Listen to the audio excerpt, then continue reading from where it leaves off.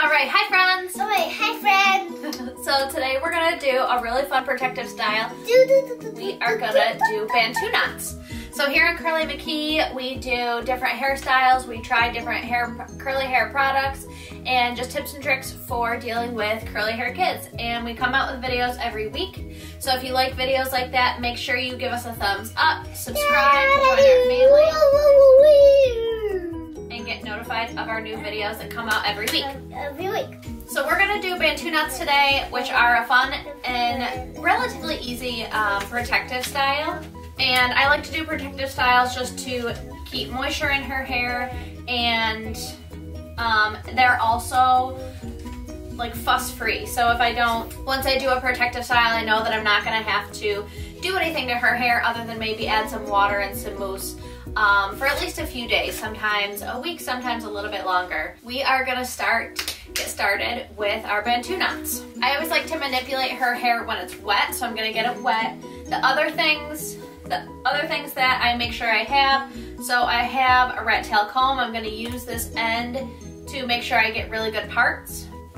A really moisturizing product, so I'm gonna use this coconut and hibiscus curl and style milk from Shea Moisture. Shea Moisture. It's a little bit heavy for her curls when I'm when she's wearing them out, but for a protective style, I like something that's just a little bit thicker and creamier so that her hair can really absorb it. And then I have little rubber bands. And then I have a shield. I also have clips, so as I part her hair, I can clip back the other parts. I also have gel. I added gel to her last protective style that was braids and it helped the style last a long time. So I'm gonna try it in the Bantu knots today. So we're gonna start by spraying her hair, getting it just a little bit wet. So cold. That makes me cold. Oh. All right, I'm also gonna time how long this takes. So her hair's like damp. And it is 11.15. Okay, so the first thing I'm gonna do, take my rat tail comb and I'm gonna do a part down the middle because I'm gonna focus on one half of her hair. Um, but what I want to do is I wanna do a zigzag part, which I'm not very good at yet, but we're gonna practice because, I know how to do zigzag. do you? Exactly. Because we're quarantined, I don't know who's gonna see this, and we're gonna try.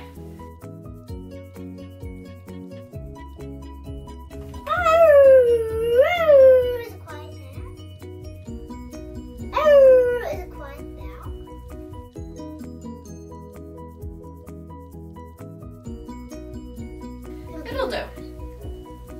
So that's her part. So we're gonna clip this side up. Okay, Okay. so So.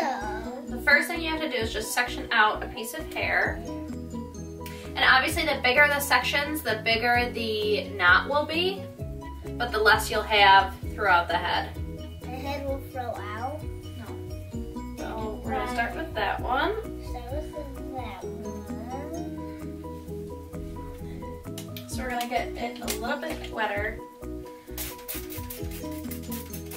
just because I really like to um, have the hair, you know, it's just easier to manipulate when it's wet.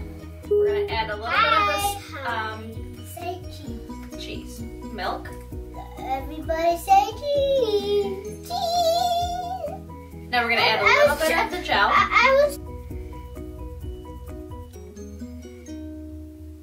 Some people do it different ways. How I like to do it is I like to add a rubber band at the base so that it's nice and tight. Some people just start twisting, um, but her hair can be pretty fine. And so I just like to secure it at the base and then I do a braid and then secure it again. What we're gonna do is we're gonna take this section of hair and I just have a little rubber band and you like it to be kind of in the middle of the section. Tight, but not too tight. That's the one thing with protective styles is you don't want them too tight. Um, you don't want any damage. All right, so now we have this section, and so now I'm just going to braid it.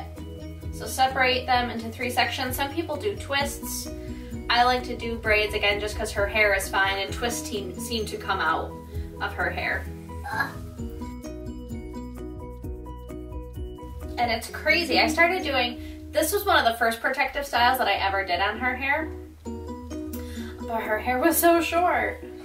I'll add some of those photos in here too. It was just one of the easier ones to do because um, her hair wasn't really uh, long enough to braid. I wasn't skilled enough in, in like actual braiding, so this was just something that I found online and was like, okay, I can I can do that. So now you have this section, and so you kind of take the base where the rubber band is, and you just kind of start wrapping the braid around itself. So I take it here, and I just start wrapping.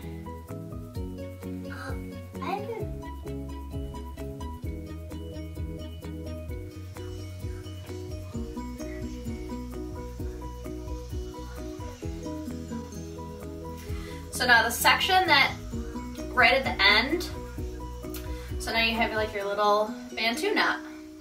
So some people can like tuck the hair under and get that to stay. I, again, because her hair is so fine, I like to then just take another rubber band and secure it. So now I have a little Bantu knot. It's not that little. Right here. So now you just start sectioning out the rest of her hair and do the knots.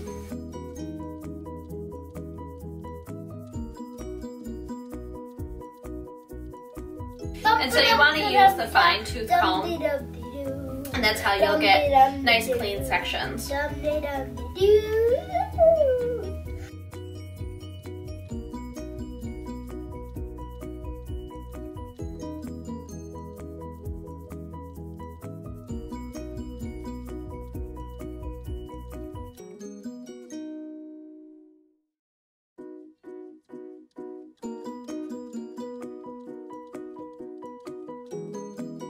Three hours later. My smoochiest face. So here we are. So here's our finished Bantu knots. Um, yeah, so it is 1232.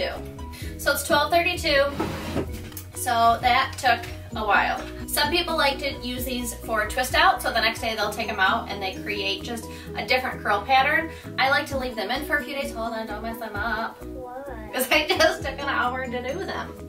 So we're gonna leave them in for a couple days. Yeah, we'll also show you guys the back. There's the back. There's the back. There's the middle. There's my smoky face. There's my smoochy face. There's mine. So thank you so much for watching. I'm gonna put this on. If you like this video, give it a thumbs up. If you like this, if you if you like this video, give it a thumbs up. And if you want to see more videos like this, we come out with videos every week, so make sure you subscribe. And we will see you next week on Curly McKee. Bye. Bye.